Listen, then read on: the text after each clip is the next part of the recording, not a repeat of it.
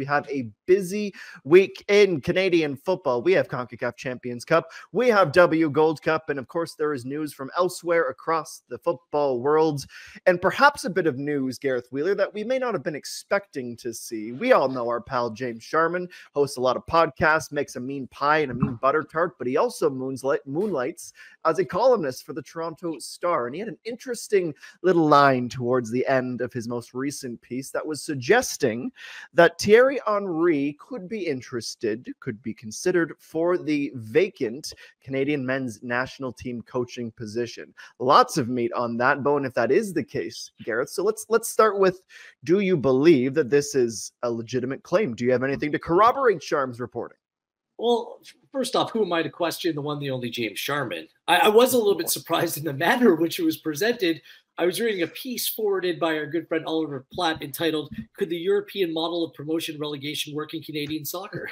Literally bearing the lead. Oh, by the way, Thierry Henry may be interested in, in the Canadian men's national team head coaching job. Uh, this, it's to, to be honest with you, it's the first time I've heard that name. Other names that are being put out there and speculated upon in the press um, I can validate some of those. This is the name that um, that caught me by surprise, but maybe it shouldn't catch us by surprise. He's coached in Canada before. He, he, clearly has a base, a nucleus here in North America. He's one a world-renowned player, uh, an all-time legend, and a player who continues to manage right now with the France under 21 side that's about to play in the Olympics this summer as well. The familiar questions will pop up, though. However, could Canada Soccer be able to afford someone like Thierry Henry, which will come with certain specific expectations and a certain price tag as well. Um, that right now, until, and I've ranted about this on Friday's show, until the hiring or the processes or the leadership and how the function, uh, how Canada Soccer, the Canadian Soccer Association functions right now, until that's taken care of, it's very difficult to land on any candidate whatsoever. I do believe it's in the bylaw that the general secretary is the one that goes about making that hire. And but uh, Canada Soccer doesn't have a general general secretary. They have someone that's on the board who's kind of operating that manner, which doesn't make a whole lot of sense to me. So uh, we'll see. Uh, but Thierry Henry is certainly a name that would pique the interest for obvious reasons, and a name that, based upon Sharman's reporting, you simply wouldn't rule out at this point. Now, Ollie, if Thierry Henry was interested and was offered the job, the question becomes do you think it's the right fit for the vacancy? Well, I think there's Oliver Platt, the uh, the one soccer analyst who thinks it's a great fit because he gets to talk to Thierry Henry about soccer for the next few years. Like that, that side of me is like, yeah, sign me up. Um, and then there's, you know, assessing it more objectively. Like, I, will be honest, this is the exact opposite of what I would like to see them do. And, I understand the appeal of someone like Thierry Henry, who has such a big profile, so much experience at the top levels of the game. It's, it's nothing against him uh, as, as a player, as a coach. We know, we know, you know, what a great he's been in the game. I, I just don't think it's what this program needs at this moment in time. I know there are a lot of people who say, well, you just get the highest profile guy, you get the most eyeballs on the team, and, and, and that's what matters right now. To me, you, you don't build like a legacy from a 2026 World Cup just by turning up and by everyone watching for that spell of a few weeks.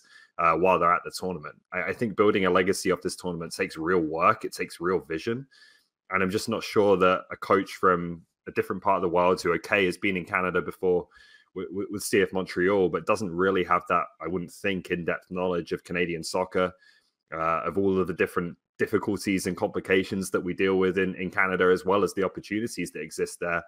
For me, that's not the type of person to really build on this massive opportunity that we have in, in 2026. Now, if you wanted to go about it a different way, and appoint a sporting director to handle all of that stuff at kind of a higher level of the federation and the coach can just focus on coaching the team then i'm much more interested. Then it's a different story.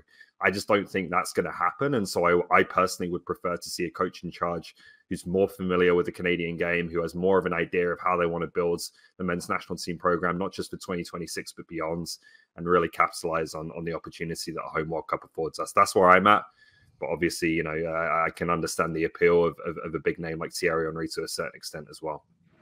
Jordan Wilson, the biggest Arsenal supporter I know, arguably the most handsome Arsenal supporter I know. I feel like I know your answer, but I'm going to ask you anyways. I see where Oliver Platt, good friend, is, is going with this. Uh, I think this is an enormous task for one man to come into. Obviously, we know coaches, you have your coaching staff, but if Thierry Henry were to take the job, um, I, I, totally agree with Ollie's sentiment in terms of if he was just a manager squad, you feel a bit hopeful, but there's just a lot, a lot going on with Canadian soccer. One thing I will say as a player, there's no one that walks into the room um, as a former player like Thierry Henry who has the trust of players. Davies, all the big dogs that we have, we can go through a line.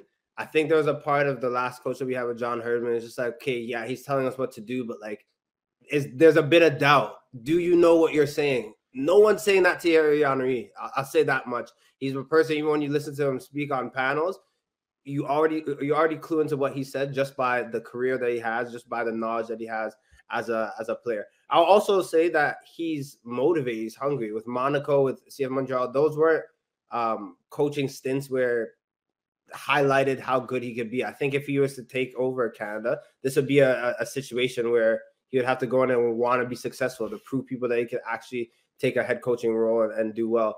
Granted, we don't know how far into this this is. The Arsenal lover in me is uber excited, but I just also think that for the players that we have right now for Canada, they would want that challenge and someone that is leading them that has been there, that has literally won everything there is to have won.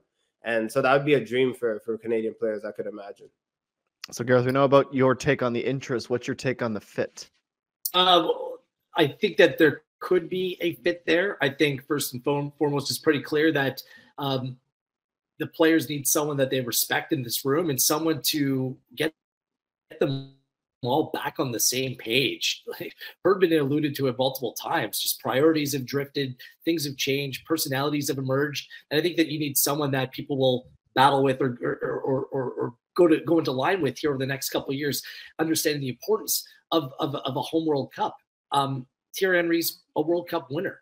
He's been an assistant coach. He was assistant coach with Belgium in the in the last World Cup. He understands what big competitions is about, and that's where I'm separating things. Like Canada soccer is a mess right now. But a glimmer of hope can be provided if the national team does well. Is Henry the right man to get everyone on the same page? I think you can make an argument, yes, he can, but still, just because you're a great player doesn't, or you were a great player doesn't mean that you were a great manager. And I think that the jury's still out about how good Thierry Henry is or can be as a manager as well. So it's a move that would come with risk. Is it worth paying that much money? And he would command a hefty paycheck um, in order to secure his services with those what ifs hanging about? Or do you want more of a mercenary to come in for the next two years? It's tried, tested, and true in international football, has had levels of success, and knows how to prepare a team appropriately heading into a competition. Henry shouldn't be the only name considered, but based upon his name, his credentials, I wouldn't discredit him as well. So I'm kind of sitting on on the fence here as well. Um, look, this job search it just to me will be incomplete until Canada Soccer hires a general secretary, gets that those you know.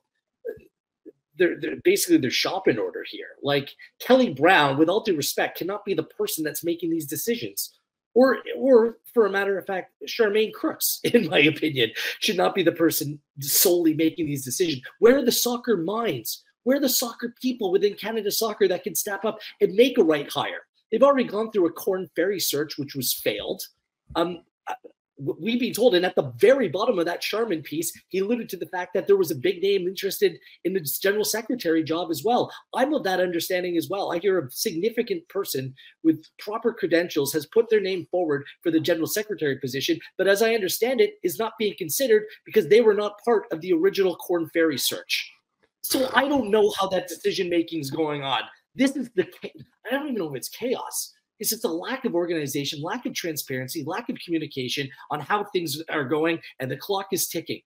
We're losing time every single day, and there's going to be other matters that the Canadian Soccer Association needs to deal with in the coming days and weeks and months ahead. And I just worry about what that decision making process looks like. So, although Henry, you know, excites me on the on the on the surface of it all, there's way too much going on for me to be like, yeah, go in and get him, and yeah, this is going to work. I just don't know at this point.